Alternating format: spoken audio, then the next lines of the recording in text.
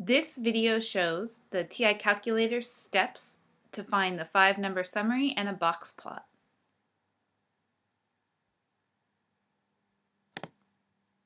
We'll be working from module 2C, group work question 2 on page 52. So we're going to use the Barry Bonds data. And so if we go into stat and press enter to edit, we're going to put our data in list 1. So the first step is to clear out list 1. So we arrow up, highlight list 1, press clear and enter and that clears out the entire list. So we're now going to enter the data for Barry Bonds.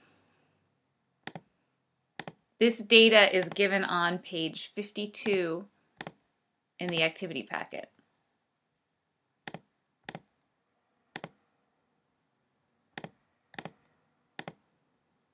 The number 25 comes up twice, so it's important to make sure that you enter it twice. We don't want to skip any numbers.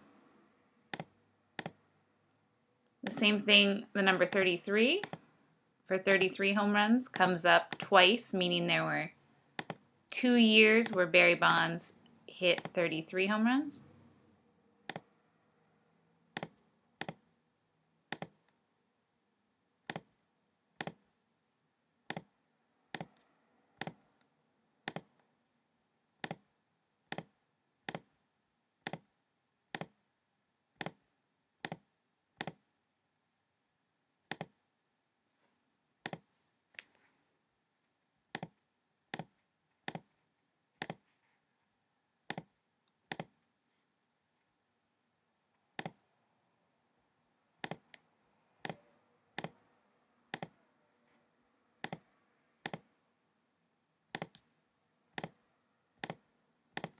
All right, we have all of our data entered, so we should have 22 data points in here.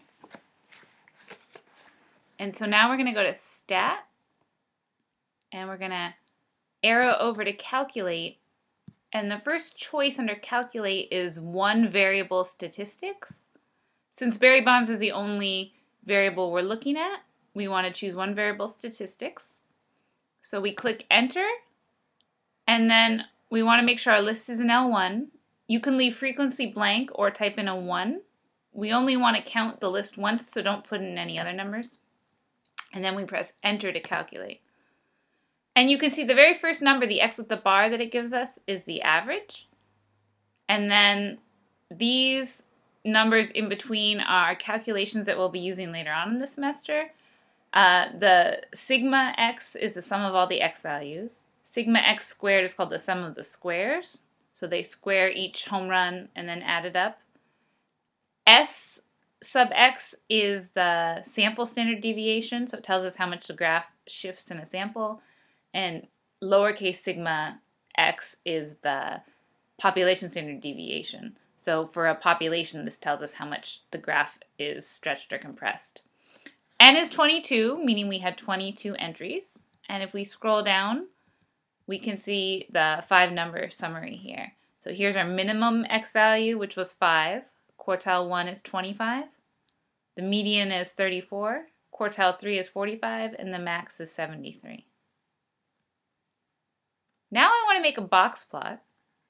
So to make a box plot, I'm going to go into Window, and I have to set my x values to match the values that we saw. So the least number of home runs Barry Bonds had was 5, so it's okay to leave my x-min at 5, a little bit below. But Barry Bonds hit 73 home runs one year, so we need to make sure our x-max goes all the way up to 75 or even a little bit higher is okay. And then we want to choose an x scale. I'm going to choose 10 as the x scale. That's going to put the tick marks on the graph. We don't need to worry about the y values down here because we're just doing a graph of the data we put in the x values. So now our next step is to turn stat plot on. So we're going to go second y equals and choose stat plot. And I have plot 1 still on on my calculator. Make sure plot 1 is on on your calculator. If not, when you press enter, you can turn it on. So see how on is highlighted here? That tells me on is, the plot is on in my calculator. So I want to choose a box plot. I'm going to come down and choose this box plot here. If you want to choose a box plot that shows outliers, you could choose the first box plot graph. But I'm going to arrow down and choose the box plot without the outliers on it. And then my X list is in L1, so I'm going to leave that the same. And my frequency is just 1, meaning I'm just counting the list once. So then we're going to say, we can say enter, or we can scroll down and click on graph.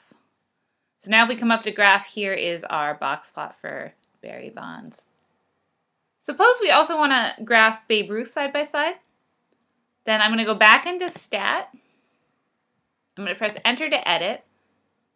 And in list two, I'm going to enter the data from Babe Ruth. So he had 22 home runs, 25. So I'm going to enter the data from all 15 years that he played.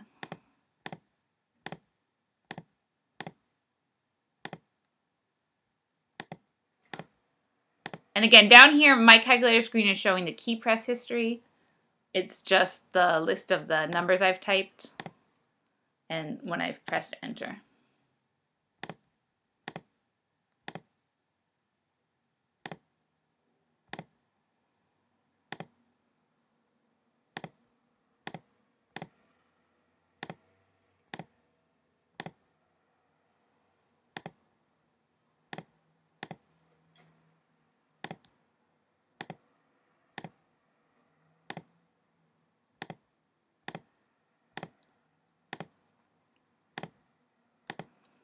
Okay, so now that Babe Ruth is in list two, I'm going to go back into stat plot. So I'm pressing second Y equals key. And I'm going to scroll down and turn plot two on. So it's currently on off, so I'm going to highlight on and press enter. And then under type, I'm going to choose the same box plot style that I chose before. Except now when they ask for the X list, I want to put list 2. So list 2 is in blue above the 2 key. So I'm going to press second and the 2 key, and here popped up list 2. Make sure you leave your frequency at 1 because we don't want to count the list more than once. And now if I go back to graph, I get the side-by-side -side box plots. So I know Barry Bonds was the first box plot I plotted, and Babe Ruth is the second box plot. So your sketches on page 52 should look something like this, although you probably rotated your sketches. If I wanted to know the five number summary for Babe Ruth, I could go back into stat back over to calc. I'm still going to choose one variable statistics because Babe Ruth is the variable I'm interested in now. And I'm going to change my list from list 1 to list 2. So I'm going to press second and the 2 key. And then arrow down to calculate, press enter. And here are the one variable statistics for Babe Ruth. So again, this is his average or mean, number of home runs, and if we scroll down, N means he had 15 data points. And our five number summary has a min of 22, quartile 1 is 35, the median is 46, quartile 3 is 54, and the max is 60.